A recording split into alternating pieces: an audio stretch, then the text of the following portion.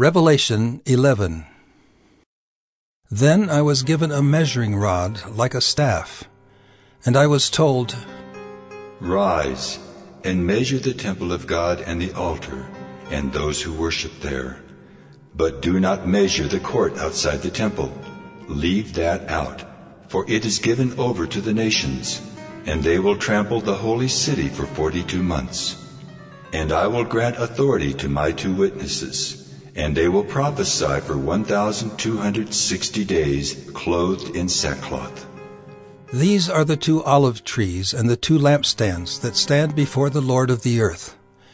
And if anyone would harm them, fire pours from their mouth and consumes their foes.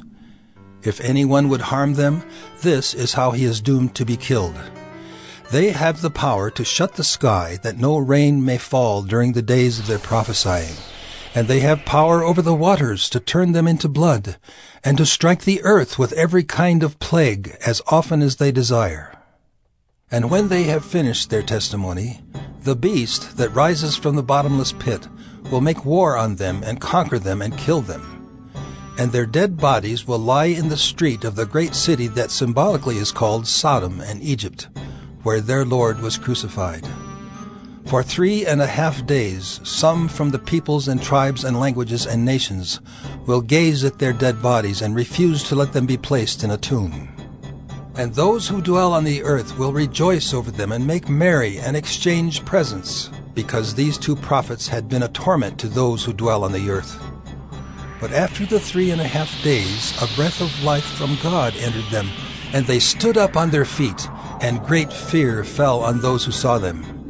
Then they heard a loud voice from heaven saying to them, Come up here. And they went up to heaven in a cloud, and their enemies watched them. And at that hour there was a great earthquake, and a tenth of the city fell.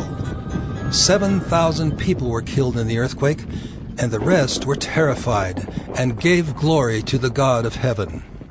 The second woe has passed. Behold, the third woe is soon to come.